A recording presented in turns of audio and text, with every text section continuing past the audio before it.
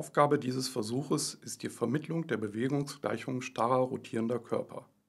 Insbesondere die Präzision eines Kreises soll im Rahmen dieses Versuches gemessen werden. Der Aufbau besteht aus Kreisel, gelagertes Rad mit Ausgleichsgewicht, Zusatzgewichte, Antriebsschnur, eine Lichtschranke, drei Pendelgewichte, eine Stoppuhr.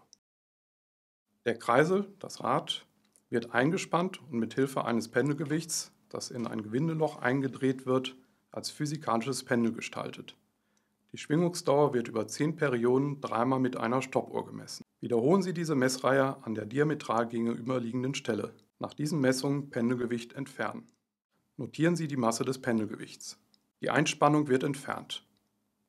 Das Rad wird ohne zusätzliche Gewichte durch Verschieben des Ausgleichgewichts auf horizontale Gleichgewichtslage justiert. Messen Sie den Abstand des Ausgleichsgewichts vom Unterstützungspunkt und notieren Sie seine Masse. Am äußeren Rand des Rades ist ein etwa 1 bis 2 cm rausragender Klebestreifen für die Lichtschranke angebracht. Machen Sie sich mit den Einstellungen und der Wirkungsweise der Lichtschranke vertraut. Messen Sie den Abstand der Kerbe für das Zusatzgewicht von der Drehachse. Der Kreisel wird mit der Aufzugsschnur in schnelle Rotation versetzt.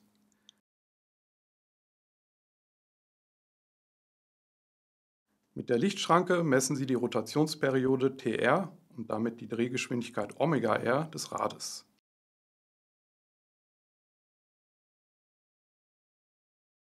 Hängen Sie ein Zusatzgewicht mz 10 bis 60 Gramm an die freie Achse des Kreises auf der Seite des Ausgleichgewichts und messen Sie dann die Präzisionsfrequenz Ωp durch Messen des halben Umlaufs mit der Stoppuhr 1,5 Tp.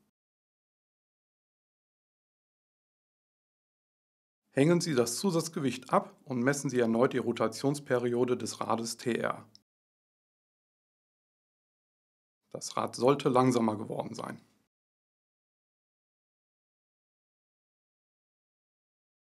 Hängen Sie wieder das gleiche Gewicht an und messen Sie die Präzision. Wiederholen Sie dies viermal, wird hier nicht mehr gezeigt. Es ist wichtig, dass das Rad ungestört weiterläuft und dass Sie diese Messung aufgrund der Reibung zügig durchführen. Wiederholen Sie den vorherigen Punkt für zwei weitere unterschiedliche Gewichte. Wird hier nicht mehr gezeigt. Der Kreisel wird erneut in schnelle Rotation versetzt. Mit der Lichtschranke messen Sie die Rotationsperiode Tr, Drehgeschwindigkeit Ωr, des Rades. Geben Sie der Achse einen kräftigen Stoß und messen Sie die Nutationsperiode Tn mit der Stoppuhr. Danach messen Sie wieder die Rotationsperiode, gefolgt von einem erneuten Stoß zur Nutation. Dies dreimal wiederholen wird hier nicht mehr gezeigt.